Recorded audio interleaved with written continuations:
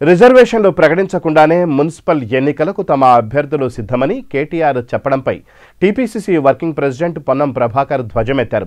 ప్రభుత్వం గతంలో ఇచ్చిన ఎన్నికల హామీలను మరిచిపోయిందని హామీలు గుర్తుకు రావాలంటే మున్సిపల్ ఎన్నికల్లో చొరక పెట్టాలంటూ ప్రజలకు విజ్ఞప్తి చేశారు. రాష్ట్రంలో ప్రతిపక్ష పార్టీ హోదా బీజేపీకి ఎప్పటికీ రాదని హుజూర్ నగర్ ఎన్నికలతో తేలిపోయిందన్నారు. ఎన్నికల అధికారులు ప్రభుత్వానికి తొత్తులుగా మారుతున్నారని పొన్నం విమర్శించారు. కేసీఆర్ గారు గెలవంగానే విజయోత్సవ అని మన గజ్వెల్లో పెట్టుకురు. ఆ రోజు ఏమన్నాడు? ఐదు వేల ఇల్లు కట్టిస్తా అన్నాడు. అని కూడా ఇప్పుడు ఐదేళ్ళు అయిపోయింది.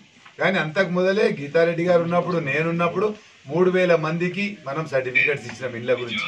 మనం అక్కడ బోరేసాం ఆ బోర్ దగ్గరనే మీ విధి పత్రికా విలేకరులకు కూడా జాగ్రత్త చూపెట్టాం దురదృష్టవశాత్తు అతను వచ్చి అన్ని గుంజుకున్నాడు.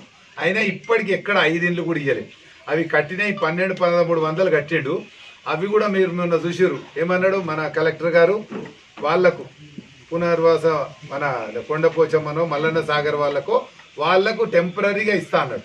అంటే వాళ్ళకి ఇచ్చినాక మన గజ్వేల్ వాళ్ళకి ఇస్తే అది ఎట్లుంటుంది ఆ ఇల్లు? ఒకళ్ళు వాడుకొని పోయినాక ఇంకోళ్ళకి ఇస్తే రెండో ఇల్లు లాగుంటుంది పాడుబడిన ఇల్లు లాగుంటుంది. ముఖ్యమంత్రికి ఏమైనా ఫండ్స్ తక్కువనా? అక్కడ టెంపరీ బాత్రూమ్ అన్న కట్టొచ్చు.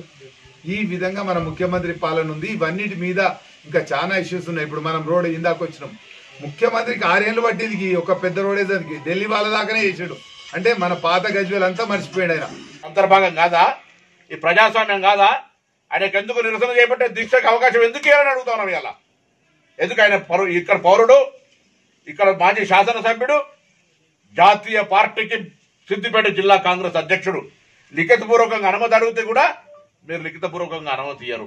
ఇదిగో ఇటువంటి దౌర్భాగ్యకరమైనటువంటి పరిస్థితులలో ప్రజలు అనుకుంటుండొచ్చరు అరే అంగన్వాడీలో పాలకు కూడా పైసలు చేయకపోతే కాంగ్రెస్ ఎందుకు ప్రొటెస్ట్ చేస్తలేదు? యాభై సంవత్సరాల లోపు బాగా యువతకు సంబంధించినటువంటి వాళ్ళకు ఒక యాభై శాతం టికెట్ లేదు ఎందుకంటే పెద్ద పెద్ద నాయకులు అందరూ ఏండ్రు? కాంగ్రెస్ నాయకం ఏంటంటే కొత్త నాయకత్వం తయారు చేసుకునేటువంటి ఒక అవకాశం స్థానిక సంస్థల ఆ విధంగా ఒక యాభై శాతం యువతకి ఇచ్చి ముందుకు పోయే విధంగా మా యొక్క కార్యాచరణ ఉంటుంది.